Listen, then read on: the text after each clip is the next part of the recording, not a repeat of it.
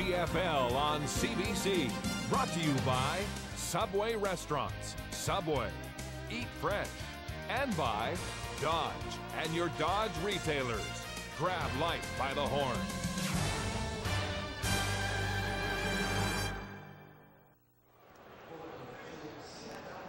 Welcome back to Sky Dome as we get set for the second half of the Eastern semifinal between the Hamilton Tiger Cats, Toronto Argos. There's the score. Danny McManus has told us on a few occasions this is the toughest defense he faces, and uh, nothing changed in that first half. No, I, I, think they did a couple things. One is they fooled him into a couple coverages where they looked like they were playing man, and then he dropped into a zone, and he threw out, you know, he could throw to a certain area, and they were there, and he got one intercepted on a bad throw by him, a bad decision when he threw the ball to no one except for Kevin Eiben of the Argos. But it's a situation where Danny Mack has really got to get back there, and hopefully Barresi has given him a better game plan for the second half. Let's check the first half numbers. Well, I mean, obviously, if you look at the first downs, you wouldn't think much of it. It's a defensive game so far. One turnover apiece. The punts, huge punts. And I tell you what, yeah, look at this number here. Prefontaine, what a leg. But this guy right here, why 43 is important? Because every time he's punted the ball, Chris, he's been in the shadow of his own goalpost. He's saved his team. The special team covers of the Ticats and the defense have really saved the Ticats in that first half. This score could be a lot worse. Let's check in with Brenda Irving. Greg Marshall's team's down by 10, and you had a lot of penalties in the first half of play. Uh, what did you tell your team at the half about that? Well, I said, you know, we did a good job of settling down in the uh, the second part of the uh, the half. Uh, we didn't take near as many penalties, and that's what we have to do. We can't give them opportunities. What does Danny McManus have to do differently against this uh, tough Toronto defense? Doing a good job. I think we have to take kind of some underneath routes early. We're we're forcing a little bit. We got to establish our running game, and we got to be patient on offense. Good luck in the second. Thank you. So essentially, the game plan for Greg Marshall, at least publicly, isn't that much different than when they started the night. Well, you know, Troy Davis only carried the ball nine times. I mean, this is only a 10 nothing game.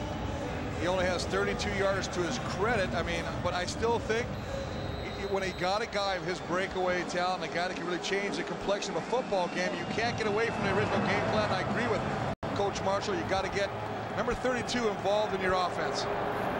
Short kick. Chuck Winters fields it at the 30. And Winters up to the 40-yard line.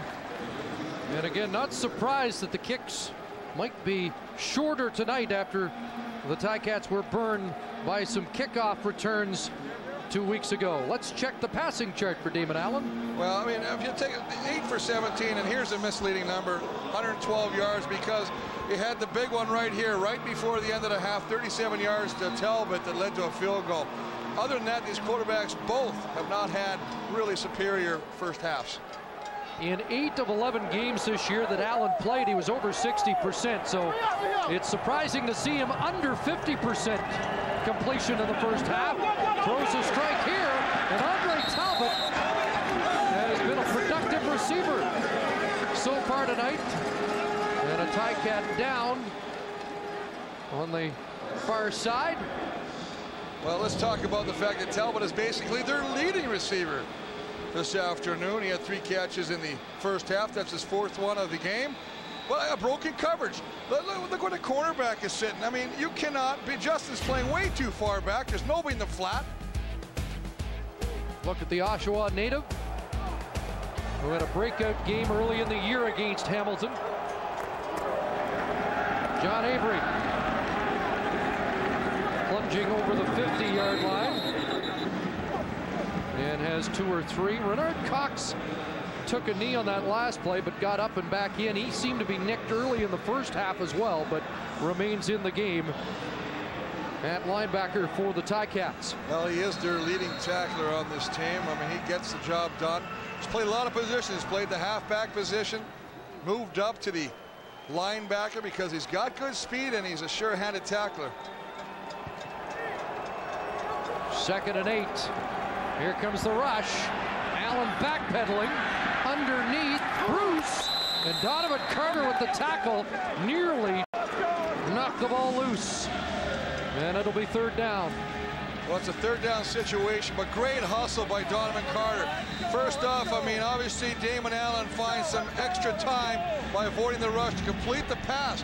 Penetration up the middle. Johnny Scott's up there. He doesn't get blocked. He just slips, loses his footing as the old lineman does a smart thing, pushing him down. Allen delivers the ball to Arland Bruce, who tries to spin, but good hustle by Carter to rip him down.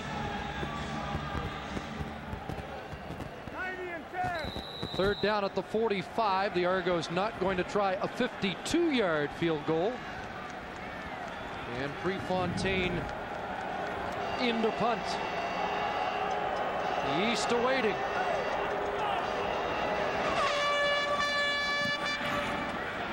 Prefontaine angling another punt. We've got a flag down, and Prefontaine has been hurt as Yeast is down by Mariuz at the 14-yard line. We talked, we saw Adriano Belli with a penalty on Noel Prefontaine when he was blocking him on a return on a missed field goal early in the first quarter, taking Prefontaine out, drawing a roughing penalty. Now look at, it's over. It's over. You, you know, I got to tell you, Wayne Shaw, you can avoid that. Now it's not harmless now, but the referee says if you make any contact, look, he actually puts the shoulder up there. Now I don't care what you say, it doesn't look like much, but they know that he's got a problem. He's hurt. So he tries to give him a little shot. But once again, it's a penalty that starts off giving the Argonauts excellent field position. They were chirping at Prefontaine from the Hamilton bench, and Prefontaine gestured, and he'll take the penalty, and the Argos will take the first down. R. Jay Soward, first catch, and a first down. And we've got more flags. Well, Damon Allen is really stretching this field horizontally from sideline to sideline. And the Ticat defenders who really played physical in the first half are sitting off right now soft.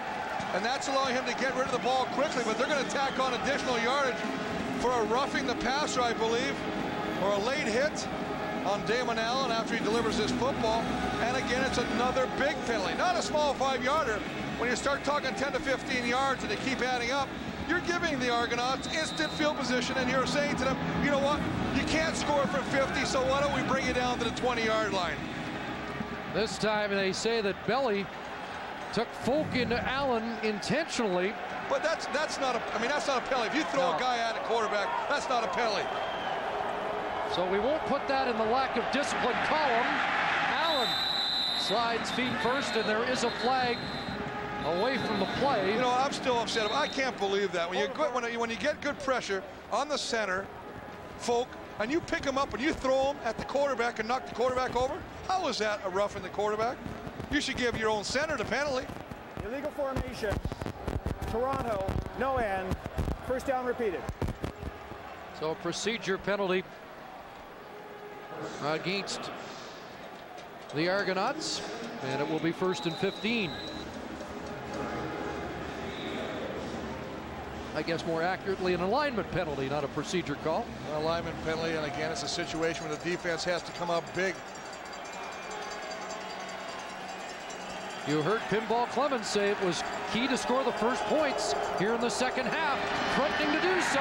Talbot's fifth catch of the game. Inside the 10-yard line. Six on that first down pickup. And it will be second and eight to nine for the Argos. What you like about playoff games is you don't know who the hero's going to be. Number four, Andre Talbot is quickly grabbing the reins of the hero as he comes inside. Little slant pattern. Fifth catch of the afternoon. Yeah, you think about Arland Bruce and Tony Miles. Andre Talbot's a little down that depth chart. Allen to Miles, incomplete. And Damon punished again. Well, Damon is on his back as he's looked and he's checked all the seams in the roof of the dome. See if there's any leaks up there. He spent a lot of the afternoon looking up at the ceiling after he delivers that football. That's a nice job of Tony Miles actually knocking the ball away from Goss. This could have been an interception. That Devontae Peterson with, ah, could be a late hit. Not many 41-year-old grandfathers earn their living doing what Damon Allen's doing. Prefontaine in for this short field goal attempt. High snap. But they get it down and through. Argos score first in the second half. And now it's a 13-point lead.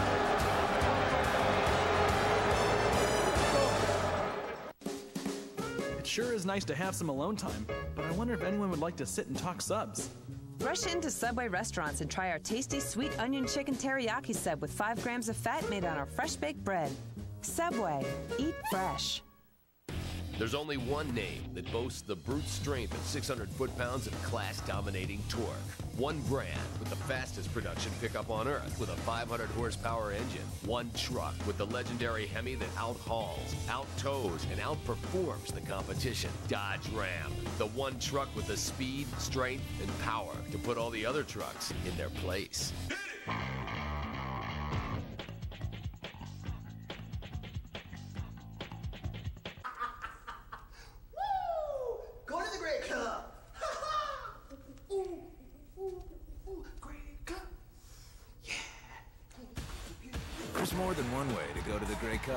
Cup. At participating Subway restaurants.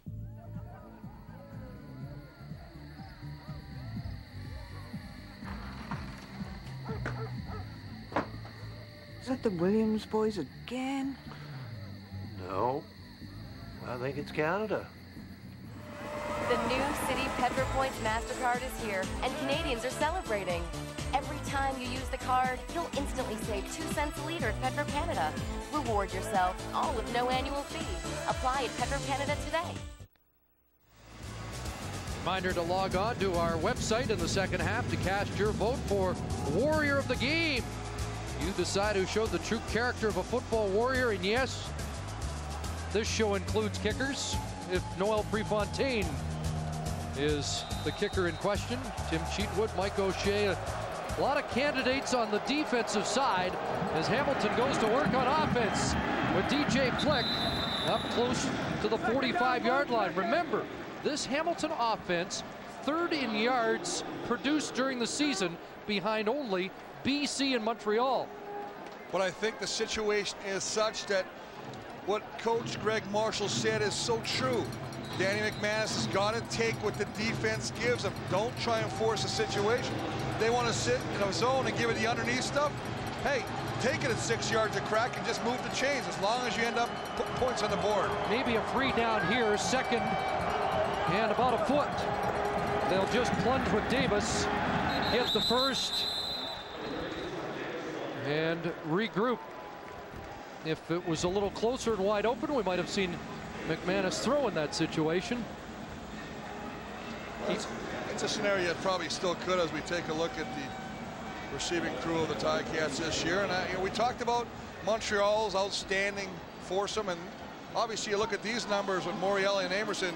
I, I, thought it was important to do this because nobody talks about this group. Amerson missed four games, otherwise he's the third man, and Morreale's in the neighborhood. This is a solid receiving core. And there's Dondre Gilliam with the rough first half, but has a first down here as the cobwebs have cleared for another weapon that Danny McManus has at his disposal. Here's how McManus has spread it around, limit, limited in the first half. Well, only 61 yards. Basically, when you're looking at that kind of thing, you have to give credit to the Argo defense. They've taken away all the big play potential down, and that's where he loves to go. But even the underneath stuff, six yards. 14 for Gilliam there. First down, quick hitter.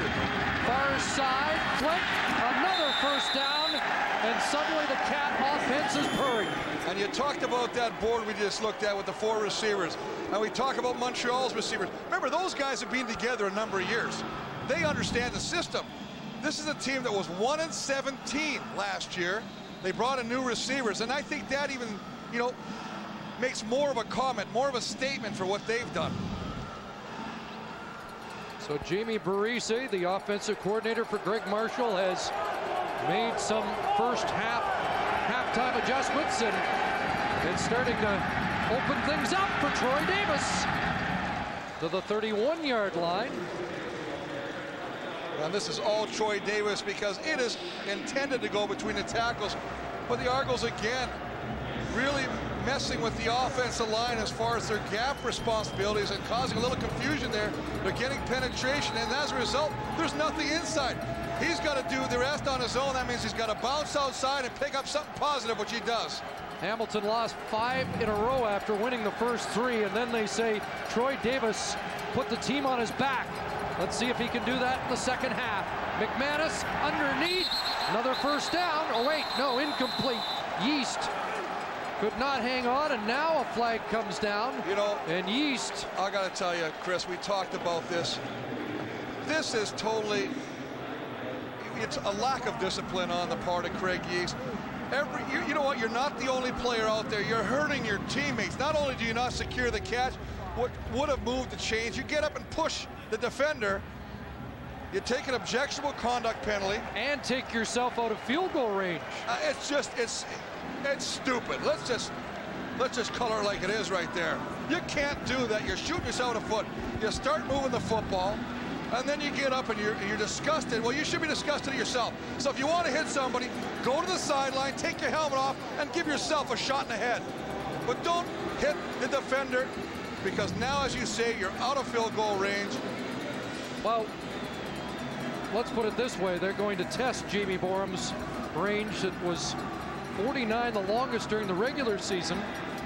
They're Yeah. going to try a 48-yarder Well, here, but Greg Marshall didn't want to do this. Well, look who's returning. Exactly. This guy has hurt them in the past. Five returned kicks this year for Levingston. So the pressure on the rookie place kicker. For the first cat points of the game, off the upright dead ball. And the only consolation is there was no Levingston return. Boreham gave it a ride, but it's still 13 0 The best-selling minivan of all time just got better. Introducing the all-new 2005 Dodge Grand Caravan, exclusively featuring available stow and go, two rows of fold flat seats with best-in-class in-floor storage. Plus, you can get adjustable overhead compartments. Fold and stow all the seats for best-in-class cargo capacity. Altogether making the 2005 Dodge Grand Caravan the only minivan with stow and go seating and storage, simply the best. Jamie Boreham had plenty of leg. Well, they were questioning about it. 48 yards. He's got the distance. He played in the Vanier Cup here in 2001 with the University of Manitoba Bisons. They lost to the St. Mary's team, but look at the fans. They can't believe it. Having a good time in the stands. It can get tough in those trenches, too. Allen swings it back. John Avery smothered by Joe Montford. And Jolton Joe has another big defensive play and a loss of five or six yards, maybe even more, as they spotted at the 20. Now, Joe Montford is a player who has just gotten stronger. This is a guy that, I mean, he, you're going against one of the more elusive backs in the league. Just wraps him up, engulfs him, if you would, and takes him down for a loss. Marked at the 20, so it is a loss of five. Second and 15. Here's the blitz. Allen gets it away, and this one picked off. Arabin Justin, the rookie's got it, and he's back into Argo territory. Tony Miles with the tackle, but a big turnover for the Ticats. Big turnover. Again, the pressure forcing Damon Allen. We saw in the first half. Pressure as good as a sack when you get results like this. Cheatwood off the side. He knows it's coming. I got to put the ball up. I put the ball up again. Too far for the intended receiver. Arabin Justice, who bit early in the second quarter and got beat by Talbot, makes a bit of an amendment, bit of atonement for that. Brings it back in the middle of the football field, and for once, the Ticats have got good starting field position. Third CFL interception in six games for Justin. And the Ticats go back to work offensively. Davis underneath with O'Shea right there. They tried to use Davis as a receiver a couple of weeks ago here at Sky Dome. He caught seven, but marginal yardage at 27 yards. Hey, listen, if you are running an offense and you've got a guy and he's not getting the yardage on the ground, I'm telling you, you better get the ball to other ways. If that means you got to run hitch patterns, if that means you got to run screens, you got to do whatever it takes because this guy can break tackles. Davis with three there, second and seven. Quick hitter, up in the air. Flick comes up with it off the fingertips of Jonathan Brown. And although it's a completion, it'll bring up third down. Well, that's the second pass that's been deflected during the football game. Michael O'Shea got one earlier in the football game. Great athletic ability of Jonathan Brown, who was cut once on the ground, gets up, stays with the play, gets a hand up. DJ Flick with a good play to catch it. Otherwise, I tell you, you might have had an Argonaut going the other way. Well, this time, Greg Marshall opting not to attempt a field goal. It would be from 51 yards out. We saw that Boreham had the leg, but this time they'll play it conservative, try and back the Argos in their own zone. Well, you got no points. Now you got to hope you can cover it. Angled punt, Levingston. And again, the coverage has been solid, led by veteran Rob Hitchcock tonight. Well, the marquee guys on the crew will be heading west, including my partner for what I think is going to be a really interesting game at Commonwealth. Mike Pringle and the Eskimos, the Saskatchewan Rough Riders who thought they were going to have the home game in the West Semi. I've been doing some contortionist exercises so I can get into my seat for the trip. Four hours? you think there's some freak shows on TV? Come watch this flight. You always look so comfortable in that middle seat. I make a lot of friends, I'm telling you that right now. So the Argos start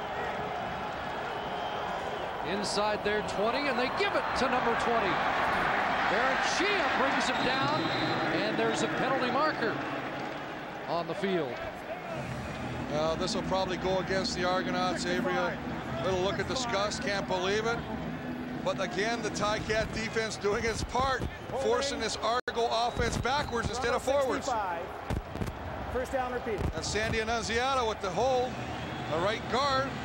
You know, it doesn't show on the scoreboard, but you feel momentum changing in the second well, half. Well, it's changing, but the offense of the Ticats still has got to take advantage of the situations. They got great field position on the Justin interception. They can't capitalize. And now the Ticat defense has to say, we can't allow a first down here. That's right. Because if they can force the punt, they'll get the ball back in good field position. Inside the 10, first and 20. And an incompletion intended for Robert Baker. Damon Allen with the interception on the last series, just his fifth interception of the year. As they have said about Allen many times, he manages a good game. He manages a good game, but so far, what I've seen, even though he got a 10-0 lead, or 13-0 with that last field goal, is the fact that he has overthrown a number of open receivers. So there's some positives from a receiver's perspective if you're looking at the offense and you break it down, but from a quarterback, you'd like it to be a little sharper. He has been under siege, this high pressure Ticat defense coming again. Allen over the middle and a one hopper incomplete intended for Arland Bruce and the Ticat defense holds and they should enjoy great field position. Though we don't want to get ahead of ourselves in that department considering the well, way that's right. Noel Prefontaine kicks the ball. Number one for the Argos has just been booming punts, but it's again a three-man rush. Montford's going to take the inside, loop Johnny Scott to the outside. Three guys, along with their, their fellow defender, Tim Cheatwood. And the pressure forces Allen to skip a pass to the antenna receiver. Does Mike Clemens give up two well, here? this might be the thing. I mean, you've got a 13-0 lead. Yeast awaiting inside the Toronto 50.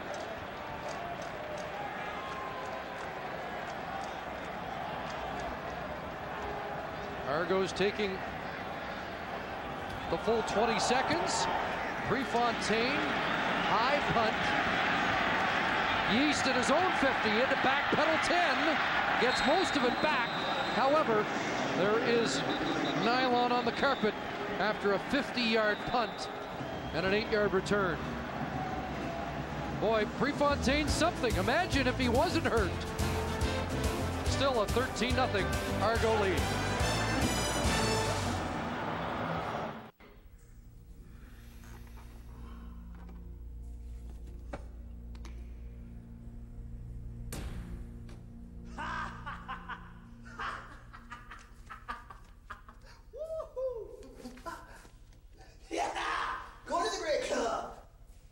Play your way to the Grey Cup when Subway Restaurants is giving away five trips to the big game? Come in, then enter online. Plus, with any Lay's potato chip purchase, you get another chance to win from Subway.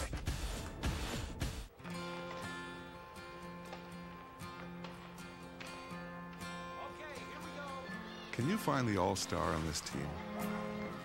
He's not the top scorer, but he's everybody's MVP. Most valuable person. A hockey volunteer. You can put your local heroes first by nominating them for the RBC Local Hockey Leaders Program. Visit rbc.com for details. RBC Insurance. First for you. That's darn pretty. Where do the northern lights come from anyway? Well, way out from Canada. I mean, what causes them? I don't know. Long-lasting, super bright LED lights from Home Hardware use 80% less electricity. So they save you energy and money.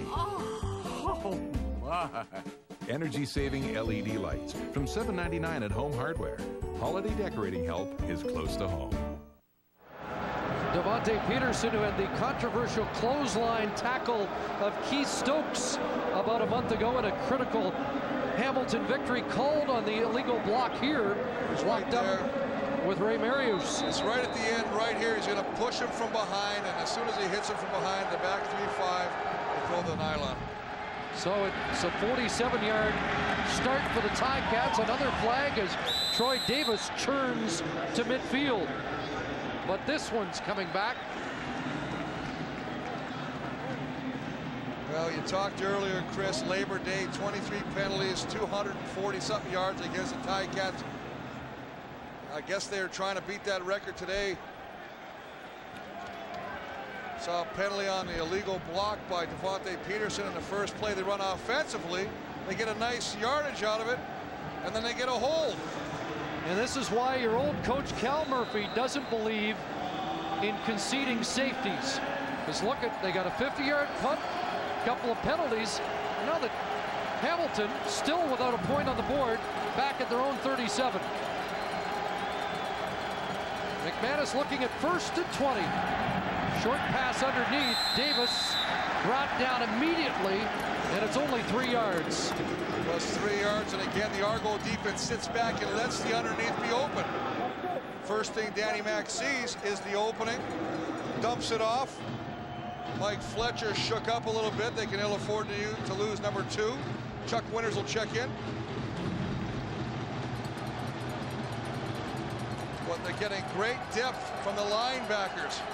There's Kevin Eiben, Michael O'Shea bringing down the receiver after a short game.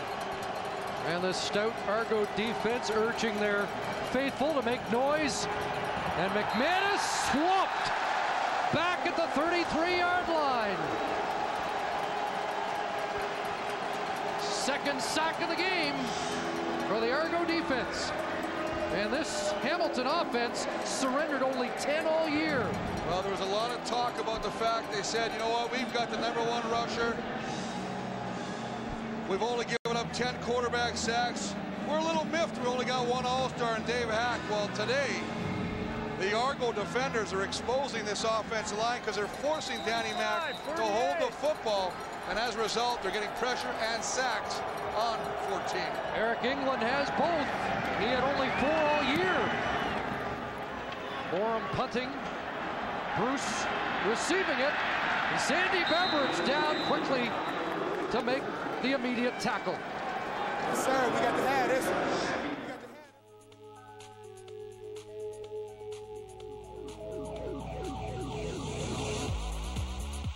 Samsung introduces another breakthrough in DLP design.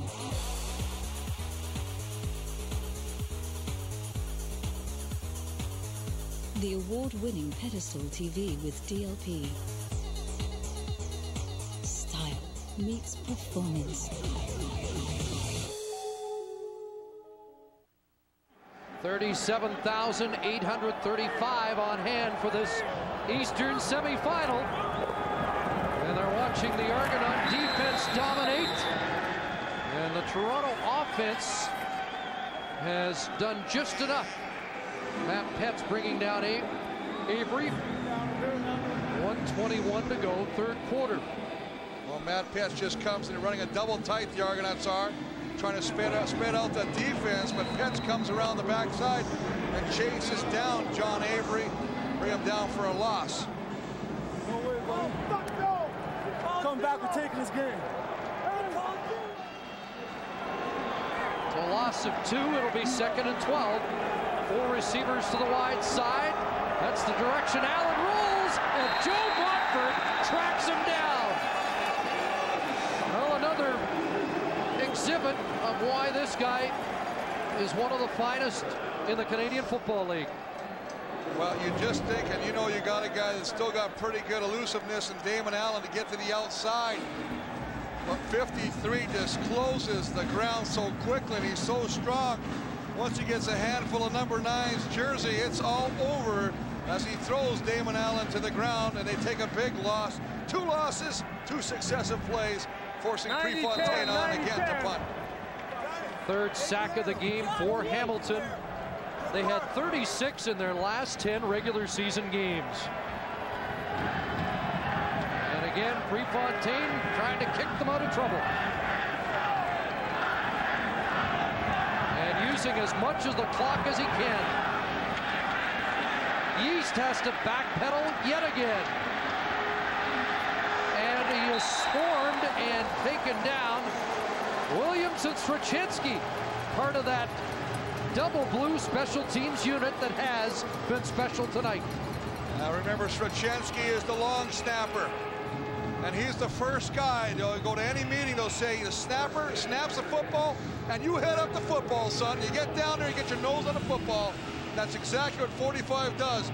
Just comes down, follows the football, stays in his proper lane, makes the play. Pinball Clemons told us yesterday he wanted to win the special teams battle by 14 points, even if it's no points on the board tonight. The Argos are probably making their coach awfully happy with their play. Here's McManus. Flag down, completion. Craig Yeast on what should have been the final play of the quarter, but there is a flag on the play. Well, they're going to call Jonta Woodard the left tackle. Eric England is a man possessed out there. Number 95. He gets around the corner, and Woodard can only put the old lasso around the neck. Tries to hide it from the official. He throws the flag. He's right at the bottom. Gets the hand around the neck. Official right behind Danny McManus out of view, just throws the nylon, and that'll cost him some more real estate. 12 penalties, 143 yards charged against the Tiger Cats. First and 20, and Davis shakes a tackle and gets three or four extra yards. Close to the 35. We're at three-quarter time at Skydome. 13-0 Argos.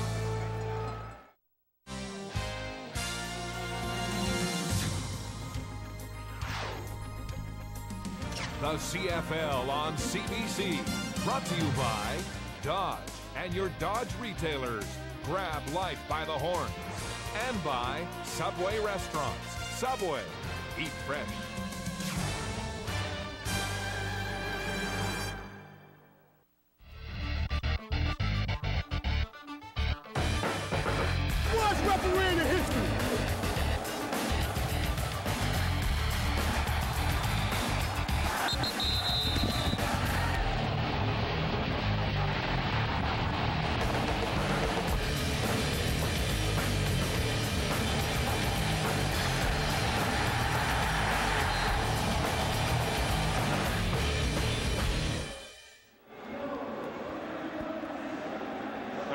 With the lone touchdown in this game. 13 0 Argos.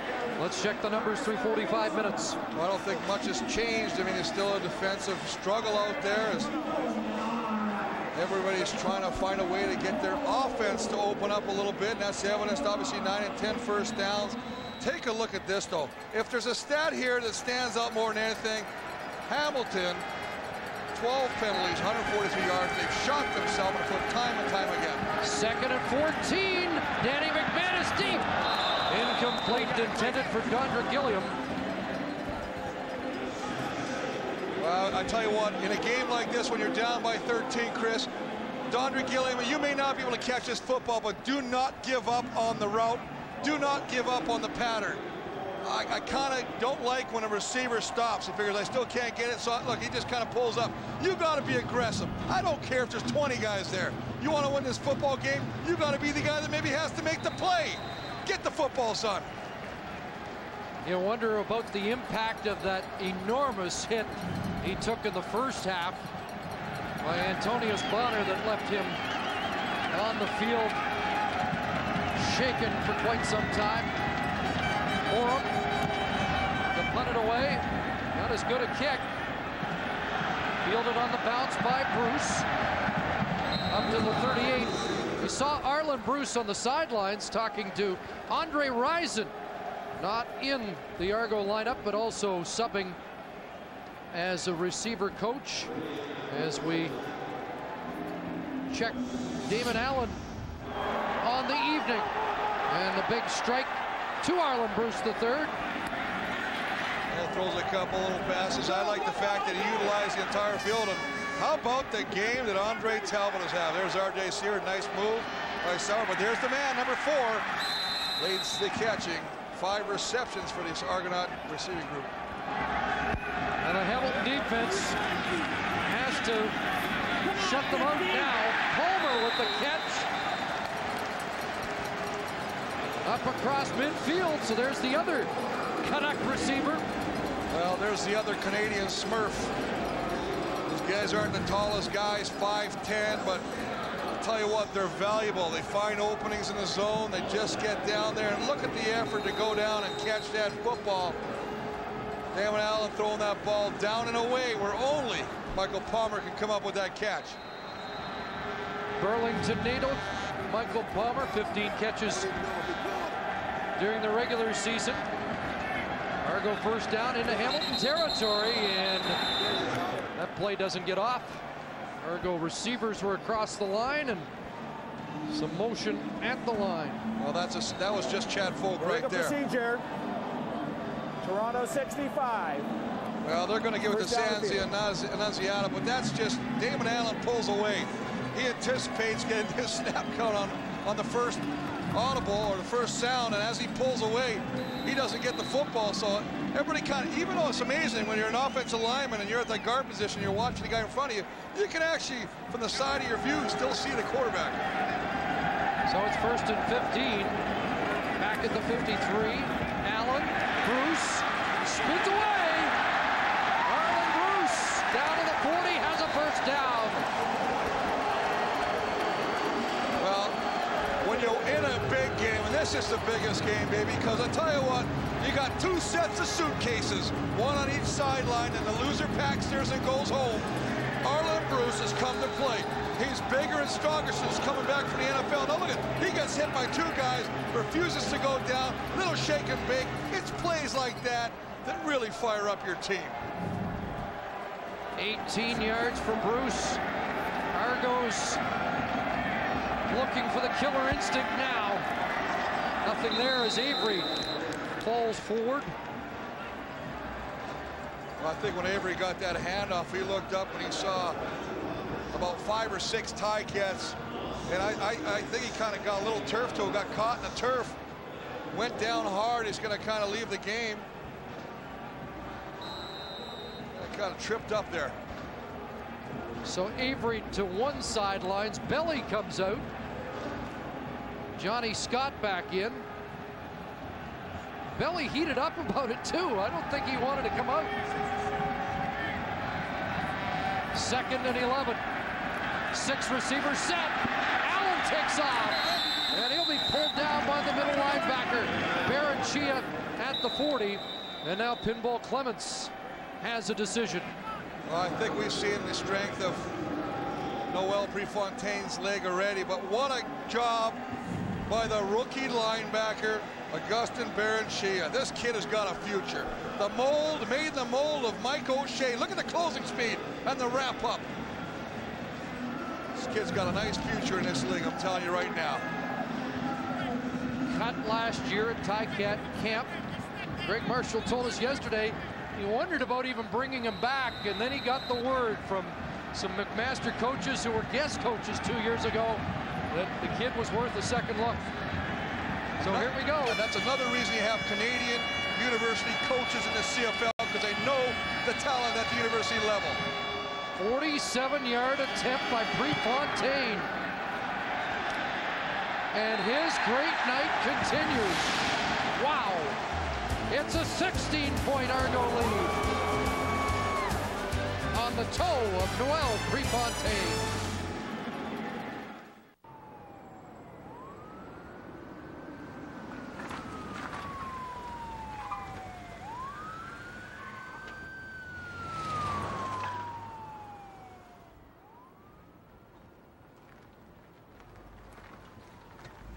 Pontiac drivers don't break the law. They just get out of the way a lot better. Introducing Pontiac Wave.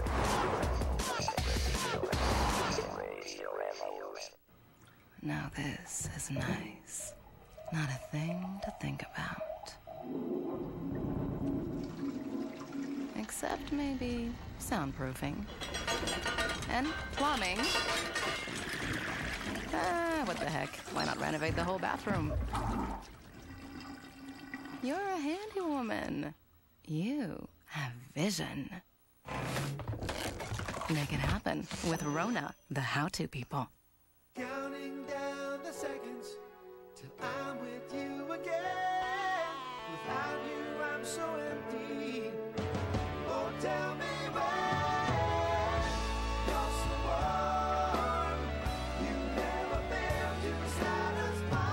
Introducing Tim Hortons new beef stew in an oven fresh bread bowl. Hearty seasoned beef, garden vegetables, and rich gravy. With a coffee and donut, just $5.59.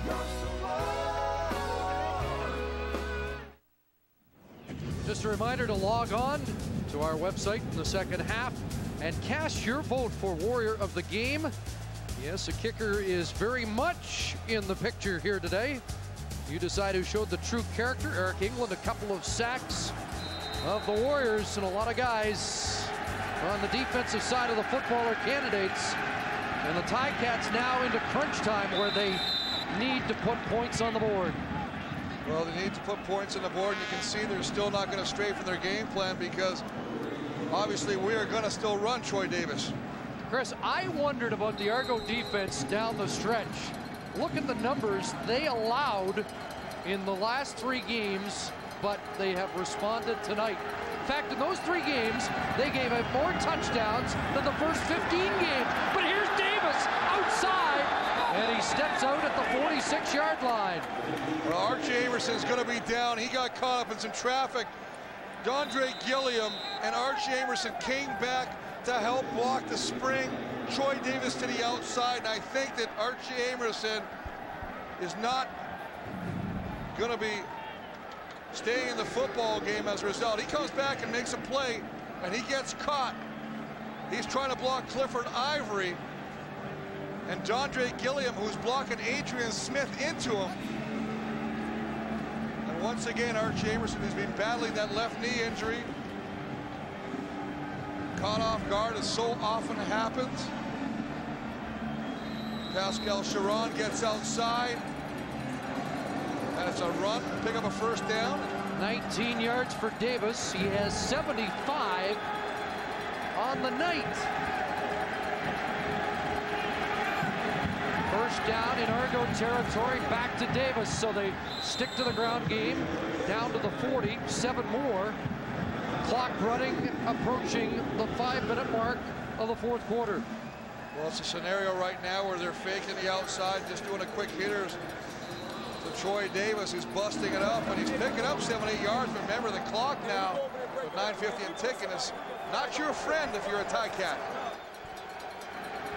Quick hitter, Flick, flag down, and Jordan Younger there to make sure Flick wasn't going anywhere. But this is the CFL, and although this hasn't been a characteristic CFL night, offside Toronto the call. Remember last week in BC when Saskatchewan trailed by 18 and in two minutes they were up in the game. And that's, and that's it. I mean, don't turn the sets off. I mean, I'm telling you right Offside. now, this is like Toronto 95. First down. Well, Eric England with the penalty, but what has to happen right now, I, you'll have to put some points on the board. Ticats must put some sort of points on the board on this drive. They have just one play over 20 yards tonight. McManus wants more now to DJ Flick. And it's knocked down by the fine first-year corner, Jordan Younger. We've had the luxury of doing a number of Argo games. If there's a guy in the secondary that I think is a star in this league, Jordan Younger is him. I mean, this kid is just a wonderful cover guy down the field. He's step for step. Look how he plays his football. He's got one eye. He knows where the receiver is. And then he goes up, plays that football.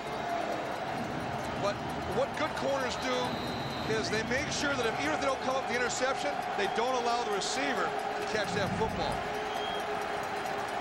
It's getting loud here at Skydome as the Ticats approach the line, second and 10.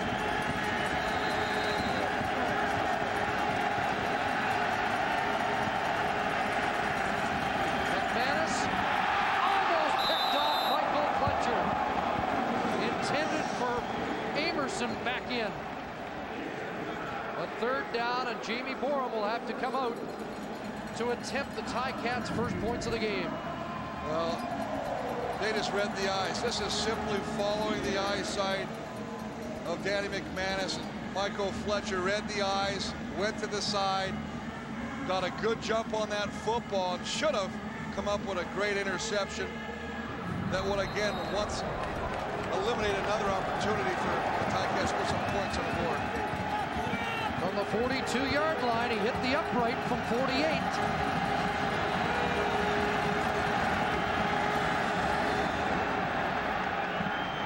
And he just missed the upright there.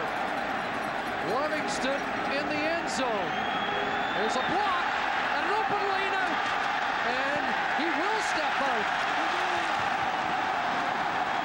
And may have gotten himself off the hook but it looked like he was going to concede the single. Nearly stopped inside the five, but Bashir Levingston gets the Argos out of trouble.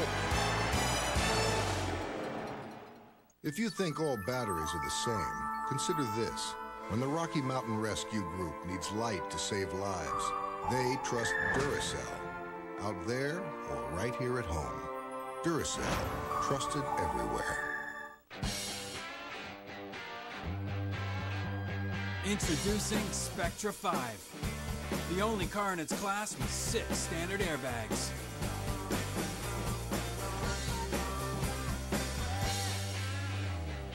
Packed with cool standard features and Canada's best ownership coverage, including free oil changes for life. Kia Spectra 5. For only 229 a month, you can love one this much.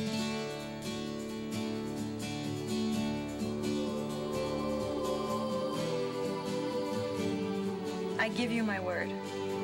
Keeping our word is standard. Standard life.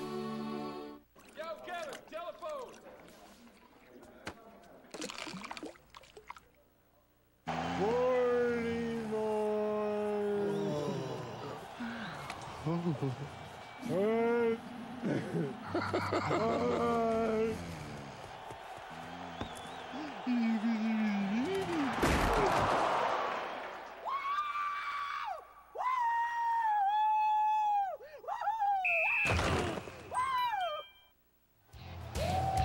Sunday afternoon, the West Semi. Henry Burris and the Saskatchewan Roughriders meet the Eskimos at Commonwealth Stadium, 3.30 Eastern.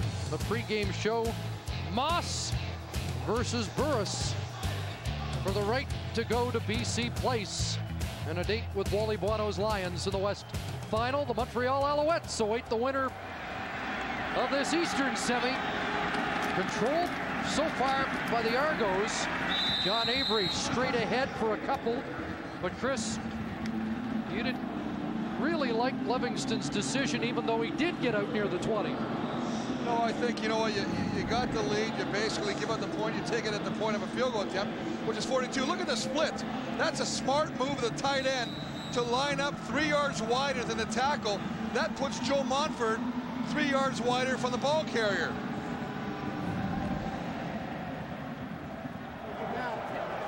Second and seven. Carl Coulter wants his hands on the football as soon as possible. Allen underneath. Arland Bruce flagged down.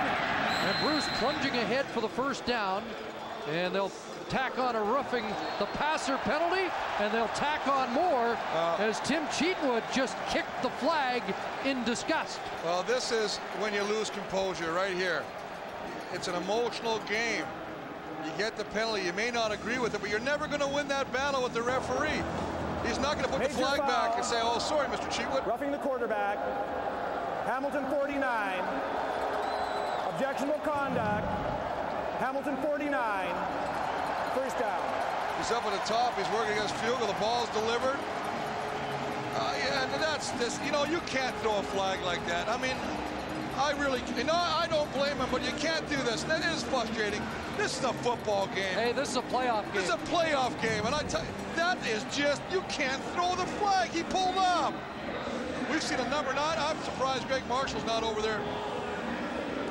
But uh, this is, I mean, let the people play. Let them win. Don't let the officials decide. I mean, you got instant field possession. Bad call resulted in 30 yards. First down for the Argos near midfield. And the Argos call a timeout. You know, we talk about this team, Chris. We say they've taken some undisciplined penalties, penalties that have hurt them. But you got to also let the people play. And, and, and when Cheatwood comes around, he pulls up. Now, if he cranked Damon Allen, yeah, you throw the flag.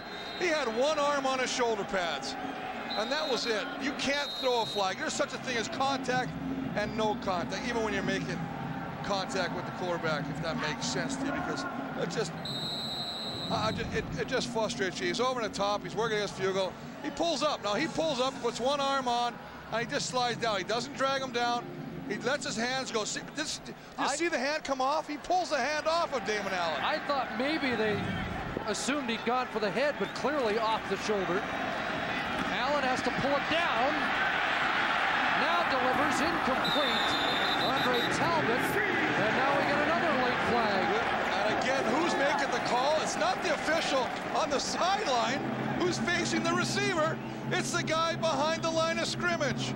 Major foul, unnecessary roughness, Hamilton 49. Cheatwood again. Well, that's why he threw the flag then. We and thought they threw it on the interference on Talbot. I was wondering, how can a guy in the back of the line of scrimmage throw a flag down the field? But Cheatwood has lost it now. And, but, and Greg Marshall just pulled well, you, Cheatwood out. You, have got to get him out. I mean, now he takes a swipe at Jude St. John, 66. They got double team on him. He's going to go around. He gets flushed outside. He can't make the tackle. Now as he goes back, you know, Jude St. John gives him a shot. That's what you can do. The play's still going on.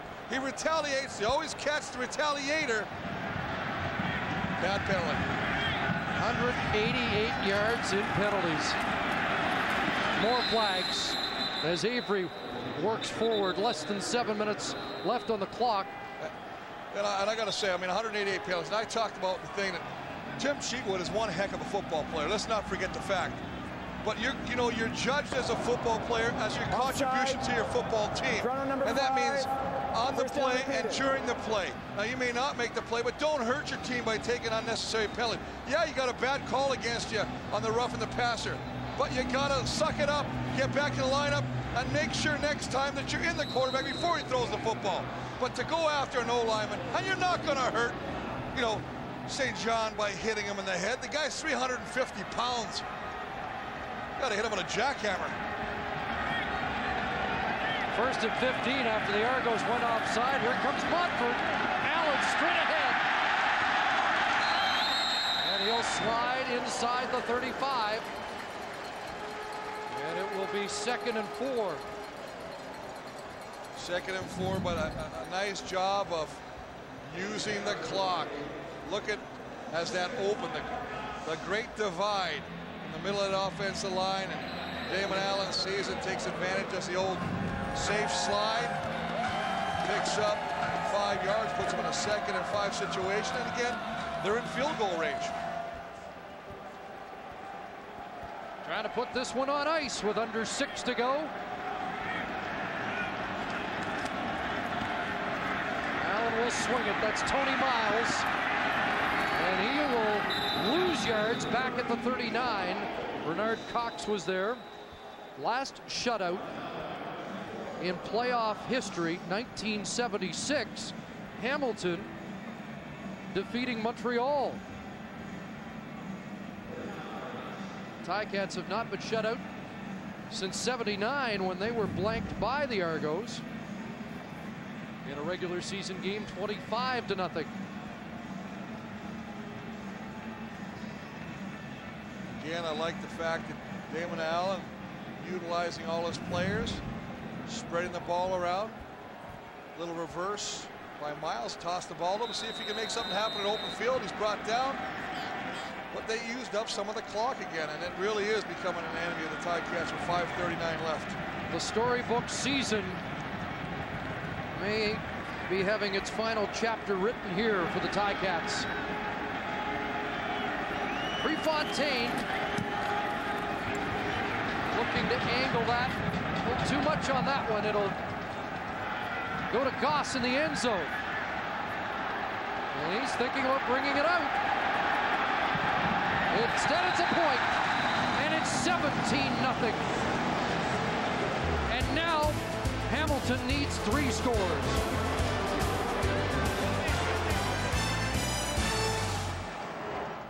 This Christmas, check the Canadian Tire Flyer to find great gift ideas for the car nut who likes to speed things up. Like the Mastercraft Crank Speed Ratchet. This may look like an ordinary ratchet, but there's nothing ordinary about it. It tightens and loosens fasteners in very tight spaces quickly because you can twist it like a screwdriver. Just keep twisting back and forth. It turns continuously one way as you crank both ways. That means you're tightening or loosening with no wasted motion. No sweep required, and it's fast. You can also bend the handle for even greater speed. But the Mastercraft Crank Speed Ratchet is just getting warmed up. Watch this. Extend the shaft, bend the handle, and see how the Crank Speed Ratchet performs much faster than ordinary ratchets. Now that was fast. The Mastercraft Crank Speed Ratchet Kit, only $39.99. A great gift idea for any do-it-yourselfer, only at Canadian Tire.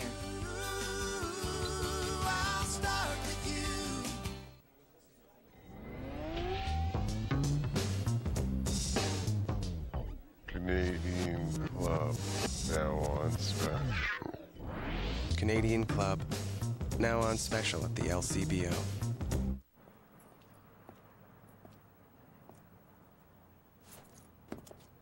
The new 170 horsepower Corolla XRS.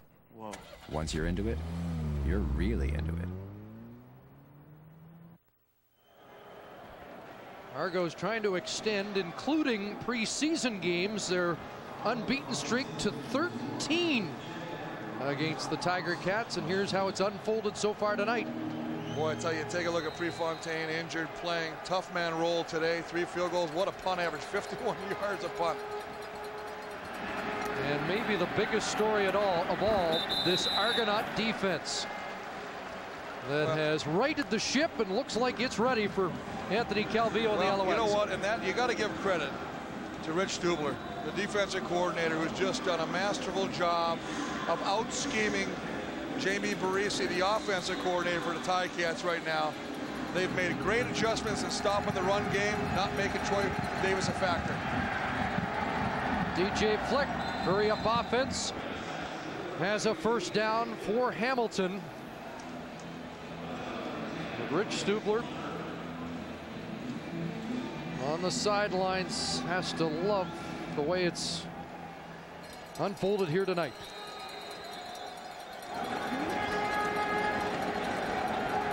Danny McManus downfield. Mike Morreale holds on.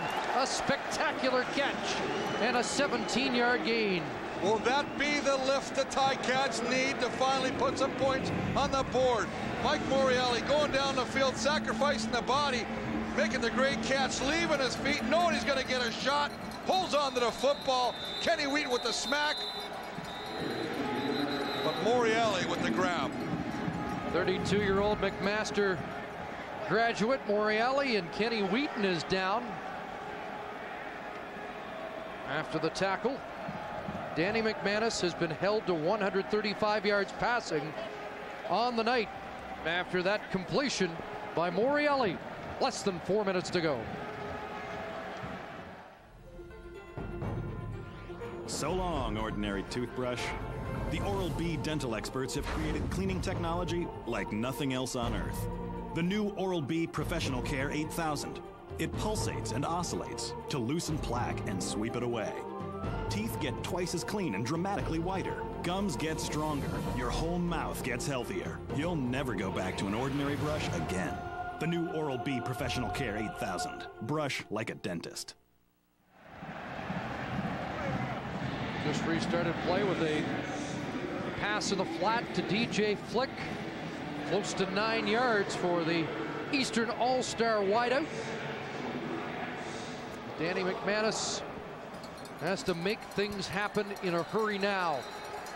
Second and a yard. And they'll give it to Davis. And it opened up on the right side momentarily. Davis thought he'd get more. He has the first down. Bonner the stop. Well, Clifford Ivory came in like a heat-seeking missile, number 13, and it's all stuffed up the middle. He tries to break outside, make something happen, but 13 just comes flying underneath and takes out the legs of Troy Davis, who slams the ball down. Little frustration starting to set in. Troy Davis. Under three minutes to go. McManus, Flick. First one misses. DJ Flick brought down by Antonius Bonner. Another first down as the three-minute warning is given to the benches here in the fourth quarter of the Eastern Final. Sebi.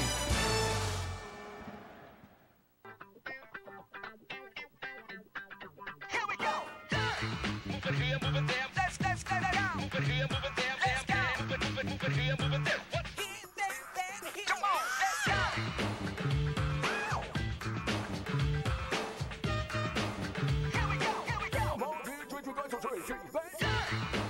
all-new 2005 Hyundai Tucson with Canada's best warranty. Perfect for whatever, whenever. This Christmas, check the Canadian Tire Flyer to find great gift ideas for the do-it-yourselfer who likes to do things right. Like the Mastercraft circular saw with Hawkeye laser technology from Canadian Tire.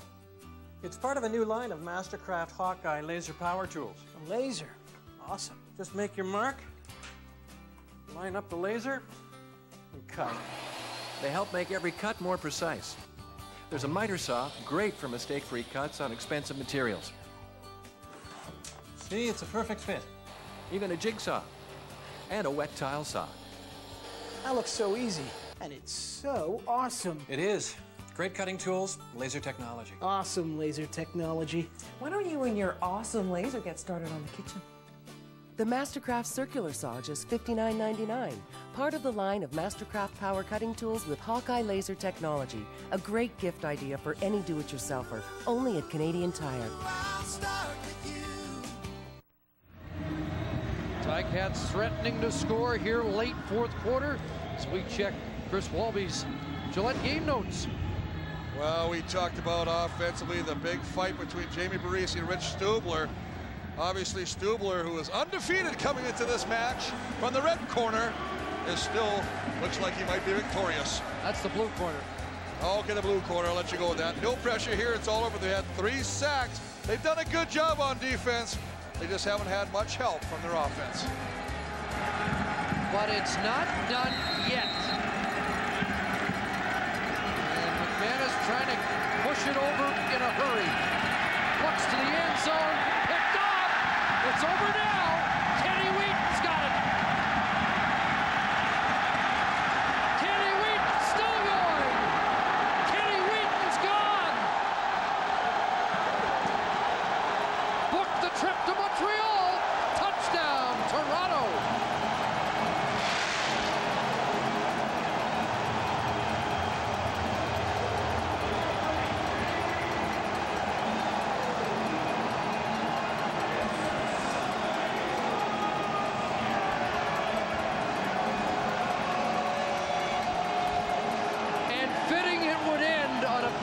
defensive play by the double blue defense. Well, it's a situation where Danny McManus knew he had to put seven on the board. You can't settle for a field goal. You have to have a touchdown. This ball's just underthrown.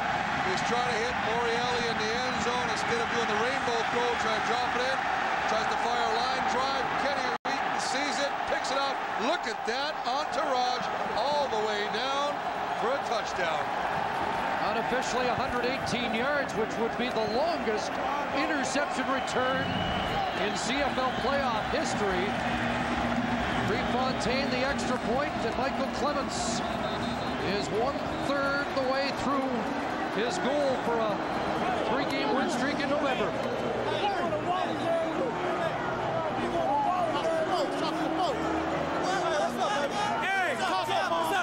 Well, dare I say it, step one is done.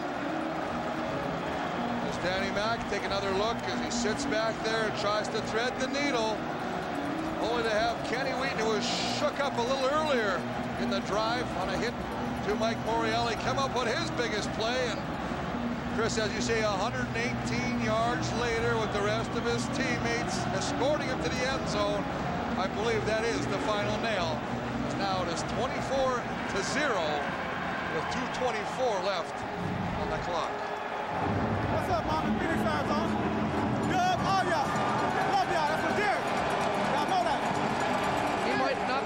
highest profile member of that secondary, but he might be the hardest hitter. And he just provided the knockout blow.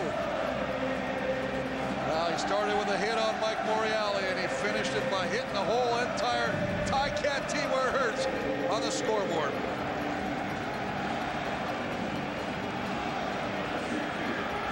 And Bonner made it hurt even more as McManus looked for a flag. As you take a look at Marcus Brady warming up. Well, we talked about late. this yesterday, uh, Chris.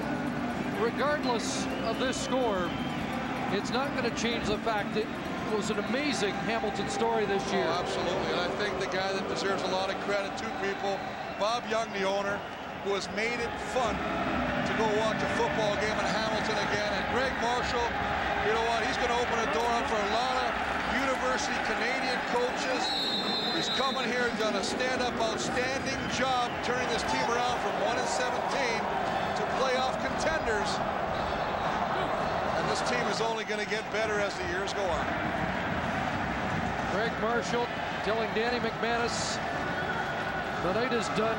Great year, but it's not ending the way he had hoped. We can confirm now it's officially a 116-yard touchdown on the interception return by Kenny Wheaton, a playoff record. The guys in the truck have the previous record from 97. I don't think Saskatchewan Roughrider fans want to see this one again as they look forward to Sunday in Edmonton. Kenny Wheaton tonight on 116 yards and telling the guys how he did it as we have an injured Argo on the field. 2.18 left on the clock.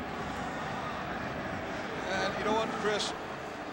Getting back to the Ticats and and the team they pulled together, bringing over Belli, some of the other players, watching Joe Montford re return to the form that he had, picking up guys like Chris Martin Goss in the secondary. I mean, they've got all the pieces.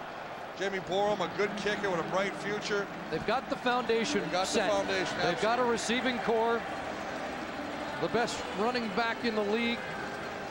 And, you know, it's funny, 41-year-old Damon Allen, 39-year-old Danny McManus, and really not much discussion about it being the final game for either of the quarterbacks, who both, for the most part, are leaning towards a return next year.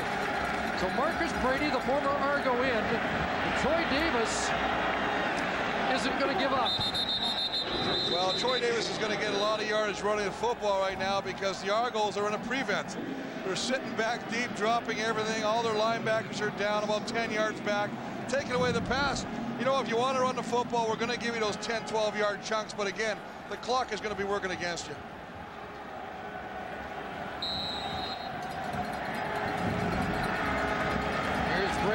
One way, he'll take off the other.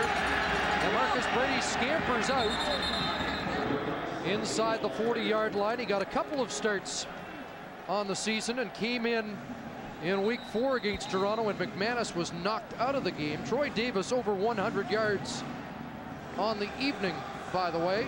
And remember, Marcus Brady in last year's Eastern Final when he came off the bench. Three touchdown passes. almost pulled it out. So it will be for the third consecutive year. Toronto and Montreal in the Eastern Final. Uh, and I don't think that's any task uh, that's envied by anyone. Of course, you know, you want to go in there, you know, but you got to go into the big O. Playing a team led by number 13, Anthony Calvillo, who has put out, they've just put out some tremendous numbers the last couple weeks. 50 points against Ottawa, 58 against these Argos. Mind you, they rested 10 starters. Now we could talk about the controversy too as well. The fans were after this team saying, why would you sit your starters? And he said, we want to be healthy because this is the biggest game. Well, they've answered that now. And apparently the fans understood because they came out over 37,000 strong tonight. Brady, quick hit, flick. And he is close to another first down. Chris, wrap up your Argo Gillette game notes.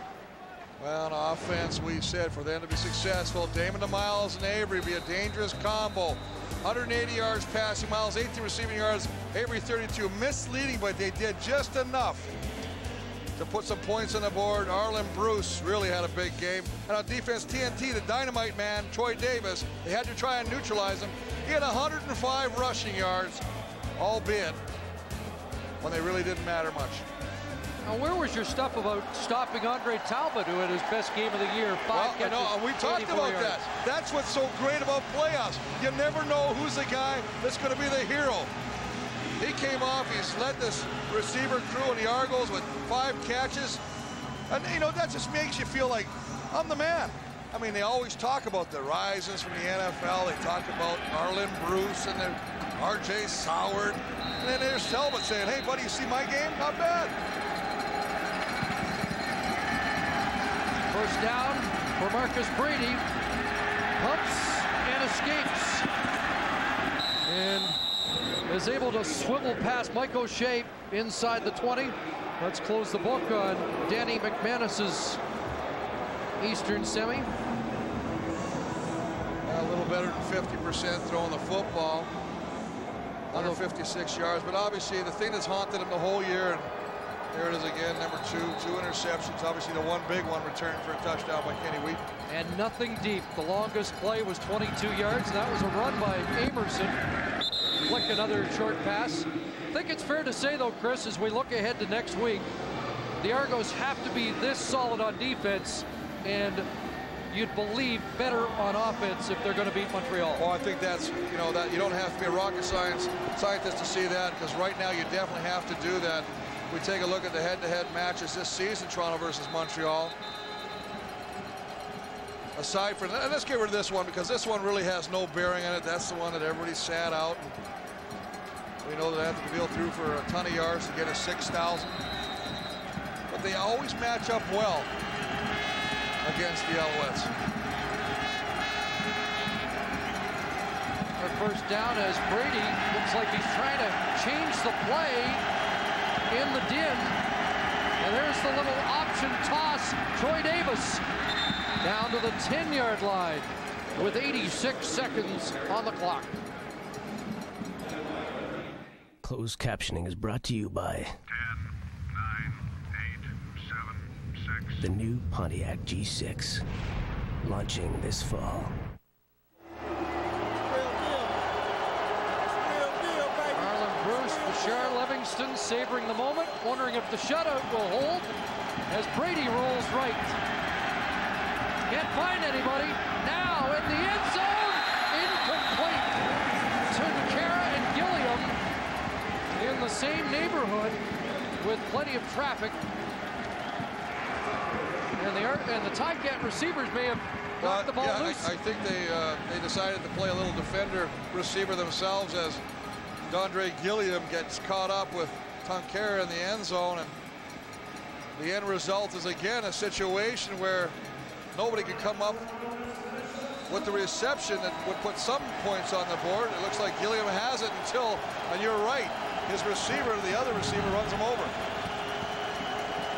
Third down and five as the Argos try to preserve the shutout. And that's thrown away, and these fans will respond as it's turned over on downs. Well, and you have to give credit where credit's due, Chris, and Rich Stubler in this defensive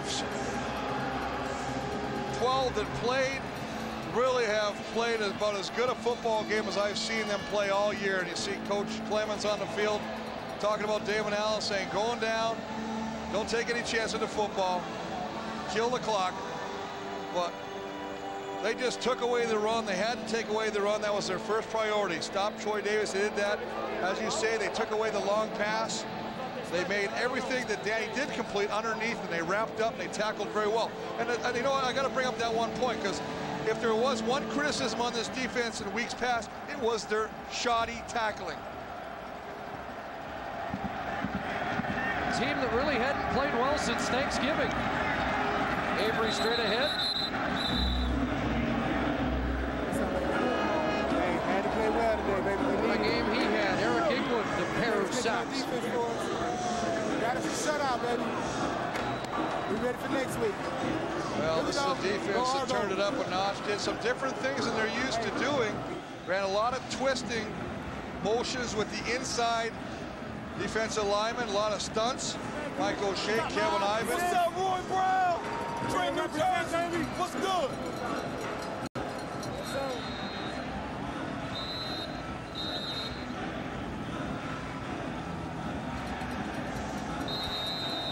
Mike O'Shea probably already thinking about next Sunday. Jonathan Brown whipping everybody into a final minute frenzy. Avery nailed because Joe Montford's going to go down the way he plays every play. And the warrior of the game is a well-deserved, deserving kicker. What can you say about this guy? Playing on a possibly torn oblique muscle. He punted the heck out of the ball. He got tangled up with Adriano Belli, and he kicked the field goals that he needed. Roughed up, maybe a little bit of an acting job. He's the warrior of the game. Warrior of the Game, brought to you by Rona, the how-to people, proudly Canadian.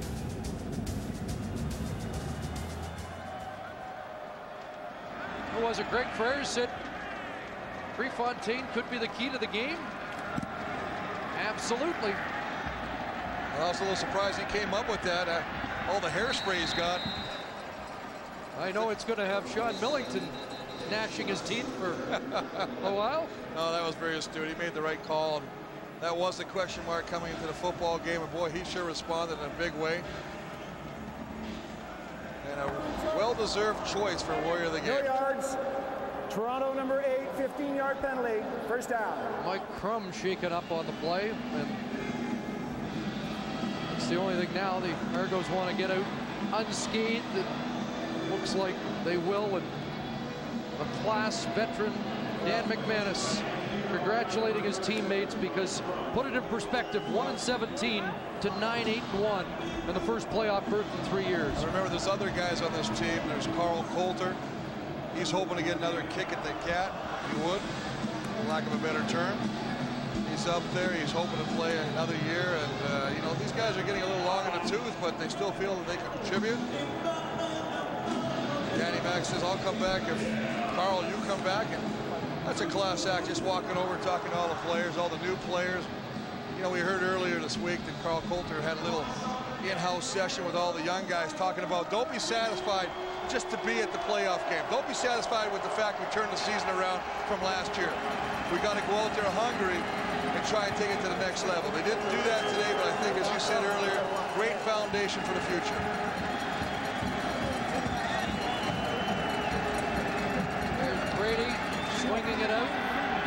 Kojo Aidoo with the ball and a flag on the play.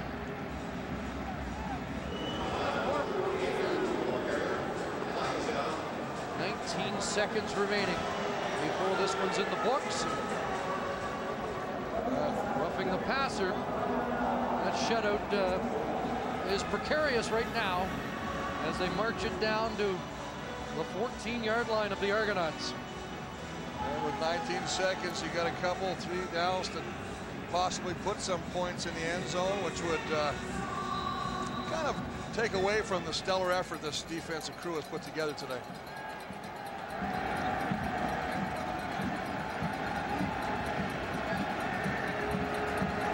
Brady with another shot, putting points on the board. Flick out of bounds at the eight-yard line, 15 seconds to go. Again, Sunday, Saskatchewan at Edmonton.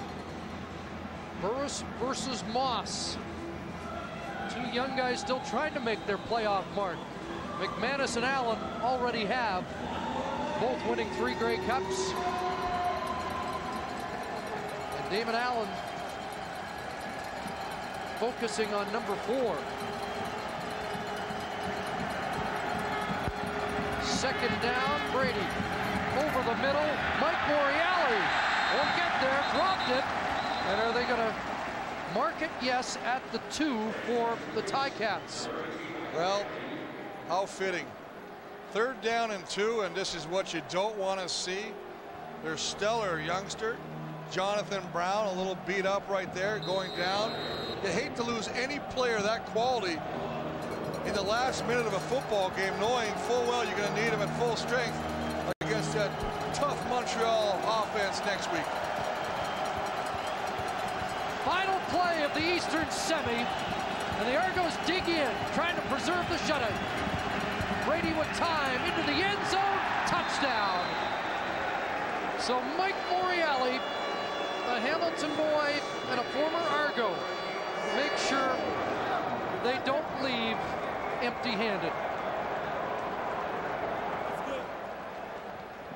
And Greg Marshall even could muster a smile that at least they cracked through. Well, no quit, no quit. Still some fight left in the dog. Dog got kicked a couple times, but or the cat, or the cat. Well, this, yeah, I didn't want to use the cat again because you know it's going to be like stop using the cat terminology. We understand that, so thought I use the dog. If you know, I like to do all breeds. Maybe a parrot next time. I don't know. And now they'll go for two. And Uh, time count violation.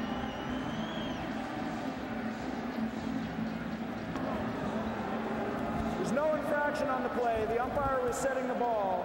We're going to play the play the uh, convert from the five. Clock ran down, but the official just spotting the ball properly.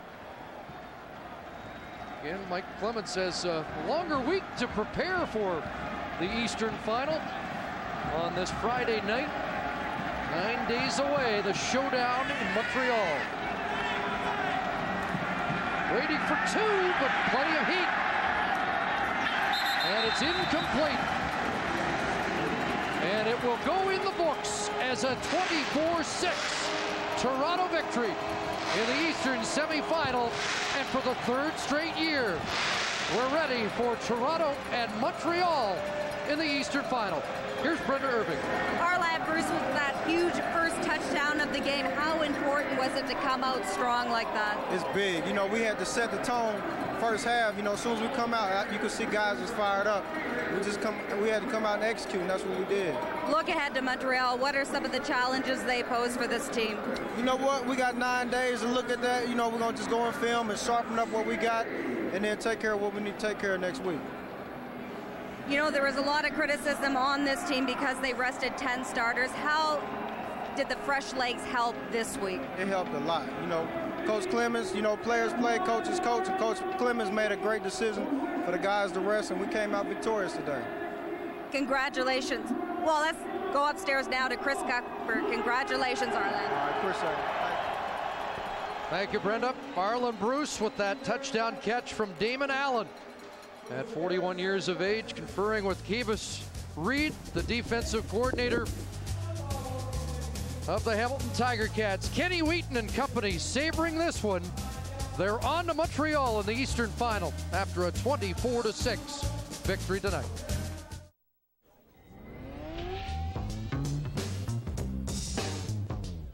Canadian Club, now on special. Canadian Club, now on special at the LCBO. One is tempted to say the Argonauts embarrassed Hamilton. The bottom line is the Ticats embarrassed themselves with a lack of discipline and dumb penalties. Just a reminder, tomorrow afternoon, live coverage of the Royal Winter Fair from here in Toronto. Join Terry Leibel, Scott Russell, and Elliotte Friedman live at 4.30 Eastern, 1.30 Pacific. We all head west now to Edmonton. We'll be at Commonwealth Stadium on Sunday afternoon, 3.30 Eastern, 1.30 Mountain for the pregame show as the Saskatchewan Roughriders take on the Edmonton Eskimos. Again here in Toronto tonight, the Toronto Argonauts have defeated the Hamilton Ticats by a score of 24-6. And once again, Toronto will advance to the Eastern Final, which is a week from Sunday against the Alouettes at Olympic Stadium in Montreal. Noel Prefontaine the difference. The Argonauts defeat Danny Mack and the Ticats. For all of us, we'll see you Sunday from Edmonton.